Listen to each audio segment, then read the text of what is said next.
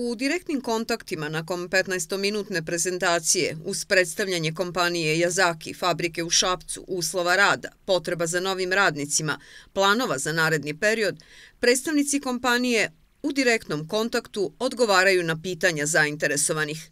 Osnovno je da kompanija planira rast, nove vidove i programe rada u Šapcu, što znači posao za nove radnike. Kao što smo već naveli, do kraja godine bi trebalo da se proširimo za još 600 zaposlenih. Trenutno radimo jedan projekat koji kažemo da je stari, jedan je trenutno u transferu iz neke druge naše sestrinske fabrike, treći projekat je već u najavi, već smo počeli pripremu za to, imamo ogromnu halu koju želimo da popunimo, što znači i ogroman broj zaposlenih koji će zajedno sa nama raditi na tome. Posao je u čistoj sredini i ne previše težak.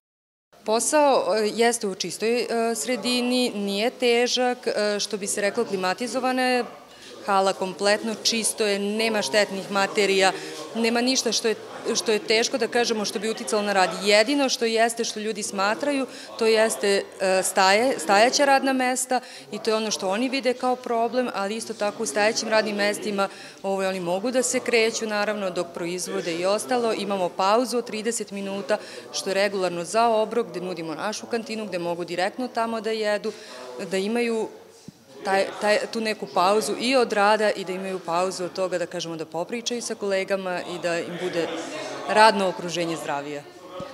U kompaniji posebno kao značajnu ističu mogućnost internog napredovanja. Već je to od juna i početka rada fabrike zaslužilo 80 zaposlenih početku smo se brinuli kako ćemo neke pozicije da nađemo, obzirom da smo u Šapcu, nema automobilske industrije, nema tog iskustva, ali smo videli zaista veliku motivaciju naših ljudi. Videli smo da su se zainteresovali za taj vid proizvodnje i da su zaista e, teškim radom, zaista, ali uz tu motivaciju da žele da napravi, da žele da nauče više i da žele da usvoje i da zajedno grade kompaniju smo videli jednu jako veliku, da kažemo, beneficiju svega toga i isto tako smo mi njima pružili šansu kao što su i oni nama pružili šansu da vidimo kakve zaposlene imamo.